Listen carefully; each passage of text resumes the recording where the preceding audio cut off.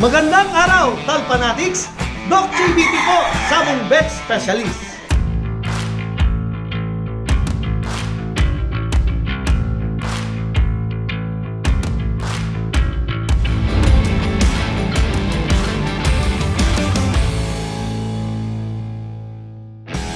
Ang topic po natin ngayong araw ay ang stag hardening.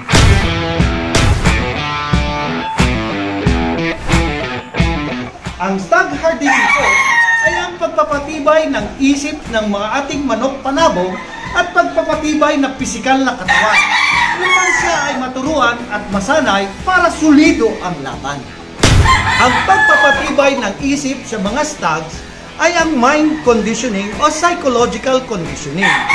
Dito, binibigyan ng stags ng mga pullets o ay inahin para ito ay matutong bumarako o kumasta.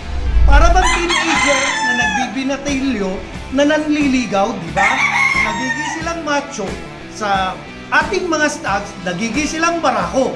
Kung nagiging barako, pwede na silang lumaban. Kaya napaka-importante sa mental conditioning ng ating mga stag na bigyan sila ng mga inahin, ulit man, o inahing manok panahon. Ang pagpapabuka ng katawan sa stag o pagpapalaki ng balikat ay sa pamamagitan ng pagsusuplemento ng mataas na protina na galing sa animal protein. Pwede ito bigyan o ipamerienda ang protein at fiber. Kasabay ito ng mga exercises at ang paghimas nito para maging maamo. Ito ay magpapabilis sa pagpapatibay ng buto ng mga stag upang malakas pumalo. Abangan ang susunod na paksa. Doc JBT po, Sabong Vet Specialist.